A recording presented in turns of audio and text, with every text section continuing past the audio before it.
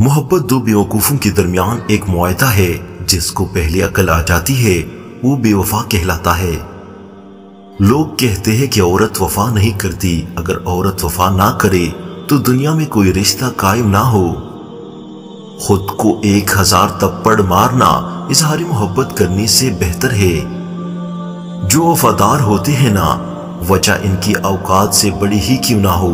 मर जाते हैं, बेवफाई नहीं करते। बाबा जी कहने लगे, पुत्र, महबूब को देखना मोहब्बत की शर्त नहीं होती। कोई बिना देखी अवैस ज्ञानी बन जाता है और कोई पास रहकर भी अबू जहल रहता है। साथी वही होता है जो साथ देता है। जिसके पीछे भागना पड़े, वो साथी नहीं होता। तो साथ क्या देगा?